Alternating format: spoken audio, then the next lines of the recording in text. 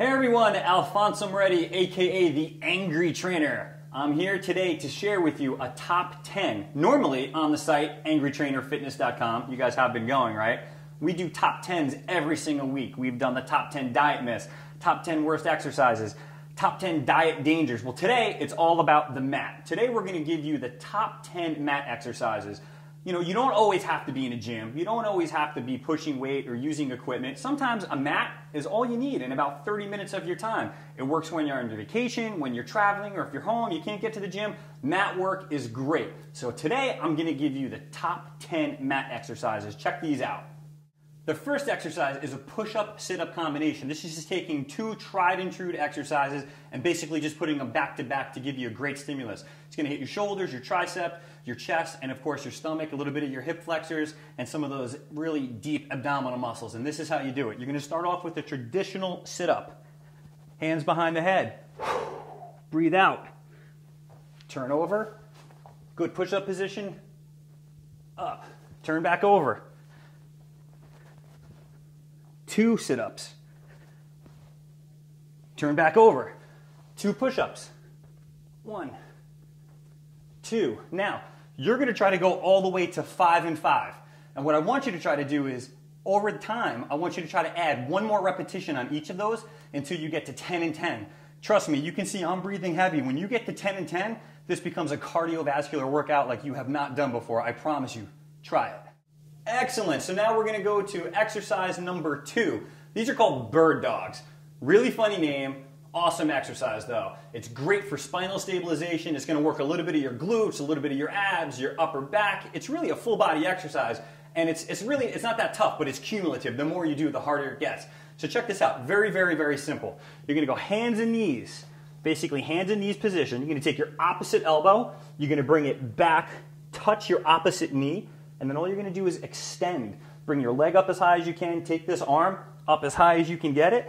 Bring back under again. Make sure you breathe out. Lift your knee in, touch, extend again, all the way up. What I want you to try to do is I want you to try to get to 15 repetitions with those. Do 15 on one side, then do 15 on the other side. Then you're going to move on to exercise number three. All right, excellent. So you've got two down. This is the third exercise. This one is super tough. I'm not going to lie to you. It's called the gladiator because it works your entire body and you have to be a warrior to get it done. So check this out. Here's what you're going to do. You're going to get into side plank position.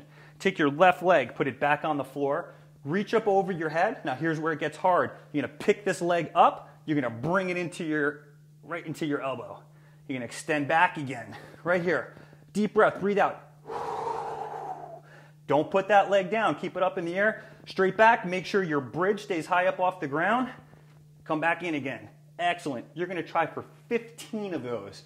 Let me know how that works out for you. All right, everyone. So now we are on exercise number four. This is going to be a hip bridge, but we're going to do it on one leg. This is going to be all about the glutes, or glute, I should say, because you're doing it one leg at a time. This is really easy to do. Just position yourself back like you're going to do a sit up.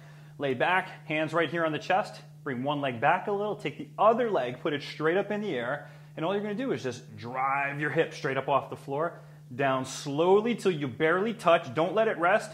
Drive back up again, right through the heel. See how I'm light on my toe? Keep all the weight on your heel. Back down again.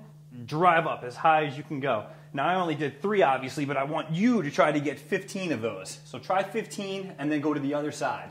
Okay, so now we are on exercise number five. I call these the X position.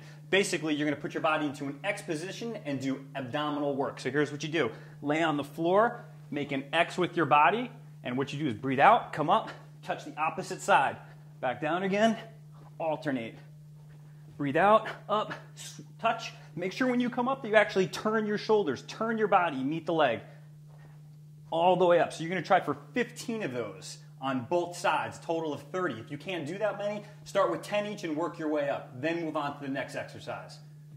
Okay, so we are on exercise number six. This is called shoulder taps. This is actually a great core exercise, a great stability exercise. It's kind of like a little bit of a twist on your regular plank, and here's how you do it. You're basically just going to get into a plank position. Make sure your glutes are squeezed underneath, your legs are tight, and all you're going to do is lift your hand up off the floor and switch side to side. You can see I'm shaking. You're going to be shaking too. Just keep tapping your hand side to side for 30 seconds.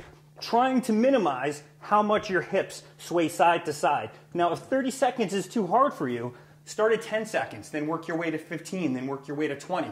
Try to get to 30 seconds though, nonstop with minimal hip movement from side to side. Then move on to the next exercise. Okay, so we are at exercise number seven. I call these hip cranks. Some people might call them something else. It's what I call it because basically you're cranking your hip up off the ground. This is great for the side of your glutes, your intercostals, and these muscles over here called your serratus and your obliques. Plus, it's going to hit your shoulder too. So once again, we're going to get back into the side plank position. What you're going to do is take your other hand, put it here, squeeze up. Then what you to do is lower yourself down to the floor, straight down. You should feel all of this stretch out in through here. Now, the reason why you have your hand here is I want you to feel these muscles. Now, what you're going to do is you're going to breathe out, bring your hips right up off the ground. Try to make round concave spine right here. Back down, come down again, breathe out, and back up. I want you to shoot for 15 of these. Watch your shoulder, make sure you don't have any pain there. Try to get up to 15 before you move to the next exercise. Okay, so we are on the eighth exercise. You've got a bunch of these under your belt now, and I'm curious as to whether or not it's harder than you thought it was going to be. A lot of people think that mat exercises are easy, but they're not. This next one is no different. This is a plank up down. It's a great exercise for your core, but it's also going to involve a lot of your shoulders and your triceps. Basically, here's what you're going to do. Get into your standard plank position. Make sure your glutes are tucked under. I'm going to take my right hand and I'm going to put it back where my right elbow is. Come back, up, up. Now what I'm to do is go down left, right, left, right. Come back up, right, left, left, right, right, left, left, right. Now I only did three. I want you to try to get to 15. 15 is tough. That's what you want to try to do. Lead with the other arm on the next set. So on the next set, you're to come up left, right, and go down right, left. This way you balance it out. Try that before you move on to the next exercise. Okay, so we're at exercise number nine. You've only got one more after this one. I've taken two big exercises and put them together. This is another push-up exercise. Push-up and T-squares. Two together, going to be completely different than what you're used to. Here's how you do it. Get into the push-up position. Make sure you have a good plank. Abs are flexed, glutes are flexed. Deep breath. Breathe out. When you get to the top, turn. Open up your chest. Keep your arms straight, shoulders back. Turn back over again. Back down for another push-up. Come back up. Turn over again. Right into this position. I did two. I want you to do 15 on each side. So try 15 one way, then 15 the other before you move on to the last and final exercise. Okay, finally, here we are, exercise number 10. This is it, this is the end. And it's a toughie. It's called toe taps. This is a core exercise. I want you to do it for 30 seconds. So set your timer, 30 seconds, just keep going side to side until your time is up. Here's how you do it. Get into a plank position right here, and all you're gonna do is tap your toes. Tap, breathe out on the way forward. Try to keep your butt as low as possible. Keep touching those toes, back, back and forth. Switch and switch. Go all the way to 30 seconds. You can't get 30 seconds, go as far as you can and try to get a little bit more next time. There you have it. Those are my top 10 mat exercises. If you do those in sequence, back to back, it'll be a killer workout. I guarantee it. Check out Angry Trainer Fitness for my other workouts and my other top 10s. Till next time, be well.